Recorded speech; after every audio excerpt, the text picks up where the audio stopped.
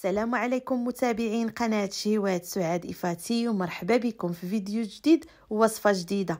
اللي إن شاء الله غادي نشارك معكم كيكة يومية بيضة واحدة فقط كتجي طالعة خفيفة وهشيشة كتدوب في اليد قبل ما توصل للفم غنضيفوا لها واحد الإضافة كتعطيها واحد اللون جد مميز من الداخل ومذاق اللي لذيذ لذيذ بزاف. كذلك غنشارك معكم واحد الصلصة زوينة كتعطي الكيك شكيل زوين وكتزيد المذاق ديالو كتزيد تبنى المذاق ديالو. وهاد الكيكة غنخدموها غير بالطراب اليدوي بدون ما نستعملوا الطراب الكهربائي. كذلك غنعطيكم جميع الأسرار والنصائح اللي كيخليو الكيك ينجح معكم وما يهبط لكمش في الفران. كذلك الكيكة كتبقى محافظة على الرطوبة ديالها ما كتنشفش من بعد. فإلا عجبكم الفيديو حبيباتي ما تنساونيش من اللايكات ديالكم ومن التعاليق ديالكم اللي كتدعمني وكتشجعني. بغيت نشكركم بزاف بزاف على دوك التعاليق الله يجعلهم لكم في ميزان حسناتكم. يا رب. وبالنسبة للسيدات اللي أول مرة كيلتحقوا بالقناة مرحبا بكم. وفضلا وليس امرا إلى عجبكم المحتوى دعموني باشتراك. وفعلوا الجرس باش تبقاو دائما توصلوا بجديد الوصفات. وعلى بركة الله ندوزو مباشرة طريقة التحضير وأول حاجة غناخذ واحد البول وغنوضع فيه بيضة كاملة. كما كتشوفوا البيضة راها متوسطة في الحجم وتكون بحراره المطبخ. دائما البيض اللي كنخدموا به الكيك كخصو يكون بحراره المطبخ. ما نجبدوش مباشرة من الثلاجه ونخدموا به. هادو من من العوامل اللي كتساعد في نجاح الكيك. غنضيف واحد كأس ديال السكر. بالنسبة للكمية ديال السكر كتبقى على حسب الذوق كيف كنقول لكم دائما. اللي ما كيبغيش الحلاوة طبيعه الحال غادي نقص من الكمية ديال السكر. أنا عندي كاس كيوزن 150 غرام ديال السكر. تقدروا تنقصوا هذه الكمية إلا ما بغيتوش السكر كثير غنضيف واحد الرشة ديال الملح اللي كتصحح لنا الذوق وكتثبت المذاق السكر وغادي نخدم مزيان هاد البيضة مع السكر كما كتشوفوا غير باستعمال ديال الطراب اليدوي. إلا بغيتوا تستعملوا الطراب الكهربائي كيبقى لكم الاختيار. وضروري نخدمو مزيان. البيض والسكر حتى يولي الخليط أبيض. من بعد غادي نضيف له كأس قل ربع ديال الزيت نباتية ما يعادل 108 مليلتر كنضيف الزيت على دفعات وأنا كنطرب كما كتشوفوا في الصورة دائما بالاستعانة بالطراب اليدوي. واللي عندها الطراب الكهربائي وبغات تستعملو كيبقى لها الاختيار. من بعد ما كتختفي الزيت تماما في الخليط كما كتشوفوا في الصورة وهذا هو القوام الخليط اللي كنحصلوا عليه. غادي نبدا نضيف هنا الحليب. عندي كأس ديال الحليب ما يعادل 150 مليلتر.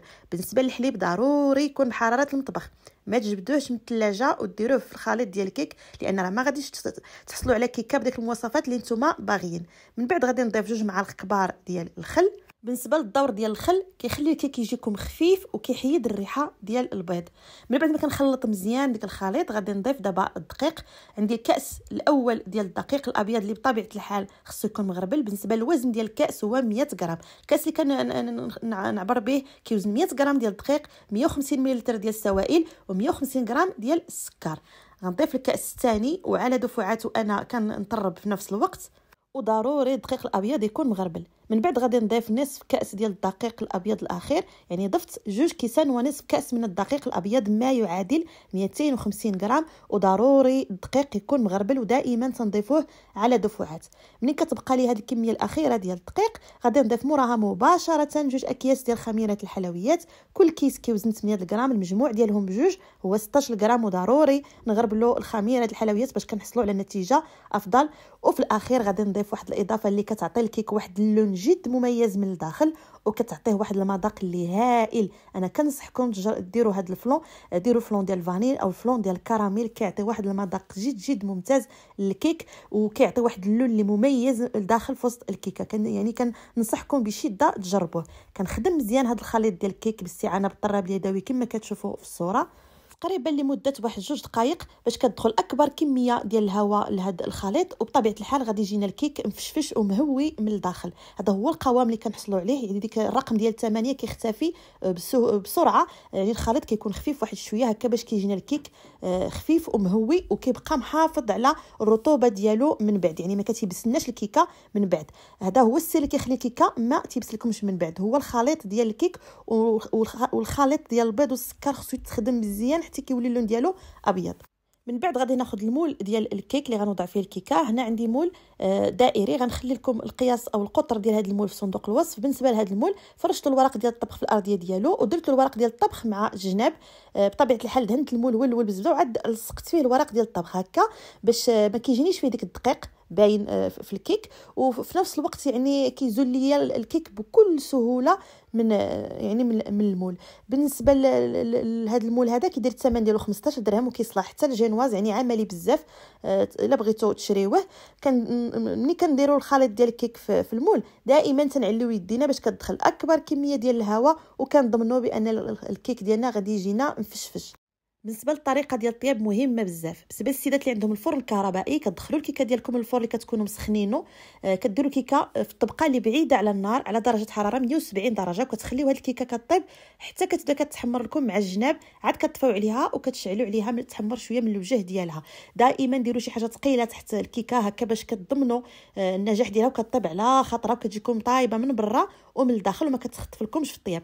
بالنسبة للفرن الغازي أنا غنتقل معكم الفرن الغازي باش نوريكم ونشرح لكم مزيان الطريقة ديال الطياب. أول حاجة الفران يكون سخون من قبل. ثاني حاجة كنحطوا الكيكة فوق مقله ديال الحرشة كما كتشوفوا في الصورة والمقله الحرشة كنقلبها على وجهها. كنحط الكيكة فوق الظهر ديال مقله الحرشة ودائما النار كتكون قليلة يعني ما كنجهدش النار. كنخلي هاد الكيكة كطيب حتى كتحمر من, التحت ومن الفوق وكطيب. حتى من الداخل ما كنشعلش عليها من الوجه ديالها أو ما كنحاديش فيها حتى كطيب تماما. عاد كنجبدها من الفران. كما كتشوفوا في الصورة النار كتكون قليلة هكا باش كطيب لكم الكيكة على خاطرها وكطيب لكم مزيان. راه ما طابتش من الداخل بمجرد ما كتجبدوها من الفران كتفش لكم كتهبط كيضيع الشكل ديالها. فخذ تبعوا النصائح ديال الطياب لأن مهمة بزاف وما تحلوش على الكيكة بتاتا. حتى كتشموا الريحة ديال الكيكة حتى كدوز تقريبا 45 دقيقة عاد كتعرفوها راها طابت. فهاد الوقيته هادي للكيك في الفران غندوز نحضر واحد الصلصة باش نزينو الكيك. غنحتاج ثلث كأس ديال الحليب ما يعادل 50 مليلتر. غنضيف عليه كيس ديال الحليب المجفف. بودرة الحليب المجفف بالنسبة لهذا الكيس هذا كيوزن 60 غرام. إلا عندكم مثلا الحليب المجفف يعني علبة كبيرة غادي ديروا ثلاثة المعالق كبار ديال الحليب المجفف. هذا هو الوزن ديالو راه كيوزن 60 غرام. غنضيف كذلك واحد الكيس ديال السكر فانيلا للتنسيم. ثم غادي نضيف السكر غنضيف ثلاثة المعالق ديال كبار ديال السكر. بالنسبة لكم نتوما ضيفوا السكر على حسب الذوق ديالكم يعني اللي ما كيبغيش الحلاوة غادي ينقص من الكمية ديال السكر.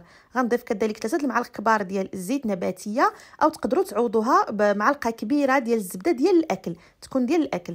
وكنخلط مزيان باستعانه بالميكسور وهذه هي الصلصة اللي كنحصل عليها. بإمكانكم تستعملوا الكأس الخلاط الكهربائي باش تخلطوا فيه هذه الصلصة.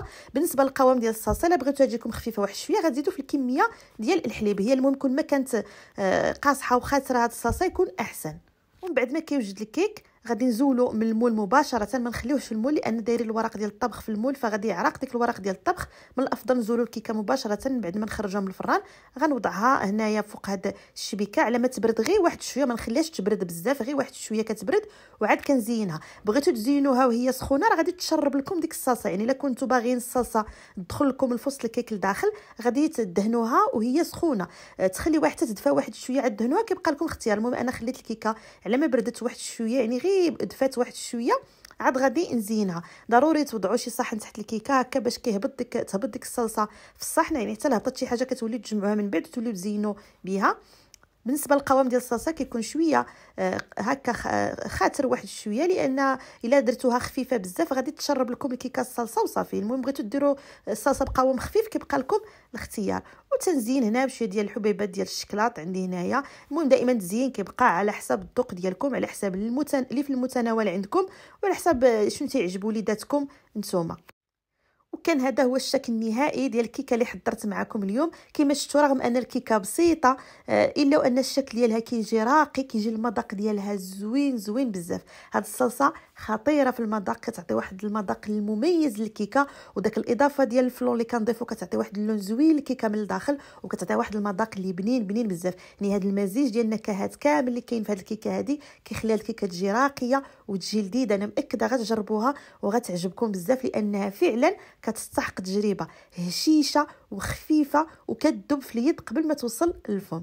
وكما قلت لكم في الفيديو لا بغيتوا الكيكة ديالكم آه، تجيكم طالعه وتنجح معكم خصكم تحترموا يعني جميع المراحل ديال التحضير آه، المقادير تكون كلها بحرارة. المطبخ الفران يكون ساخن من قبل آه، بالنسبة للكيكة لا بغيتوا تبقى لكم رطبات وما تيبس لكمش وما تنشف لكمش تخدموا الخليط ديال البيض والسكر مزيان حتى كيولي اللون ديالو أبيض والخليط ديال الكيك كنخدموه مزيان باش كتدخل فيه أكبر كمية ديال الهواء وكتبقى الكيكة ديالنا كتبقى رطبة وهشيشة مدة طويلة. شوفوا معايا في الصورة كيفاش كيجي اللون ديال الكيك بداك الإضافة ديال الفلون اللي ضفنا. كتعطيها واحد اللون جد مميز والمذاق تيجي لذيذ لذيذ بزاف. وحتى ديك الصلصة كتعطي واحد الإضافة زوينة لهاد الكيكة رغم أنها بسيطة إلا أن كيجي الشكل ديالها راقي والمذاق ديالها تيجي زوين زوين بزاف. جاوني بزاف ديال التساؤلات في الفيديو السابق ديال الكيكه اللي شاركت معكم فحاولت ما أمكن نجاوب عليها كلها في هذا الفيديو. بالنسبة للطريقة ديال الطياب أنا حاولت نوضحها لكم يعني بالصورة باش تشوفوا كيفاش كندير الكيكة في الفران. أنا تنطيب الكيكه غير في الفرن الغازي رغم أن عندي الفرن الكهربائي.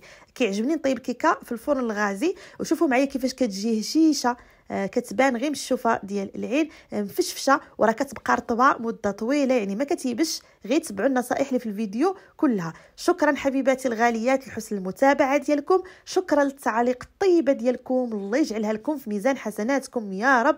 بالنسبة للسيدات اللي أول مرة كيشوفوا القناة مرحبا بكم. وفضلا وليس امرا إلى عجبكم المحتوى اللي كنقدم دعموني باشتراك وفعلوا الجرس باش تبقاو دائما توصلوا بجديد الوصفات. وإلى عجبكم الفيديو حبيباتي الغاليات ما تنساوش توصلوا لأكبر عدد من اللايكات وتبارطاجيوه مع الاهل والاصدقاء باش تعم الفائدة. وإلى اللقاء في فيديو قادم ووصفات أخرى بحول الله تعالى.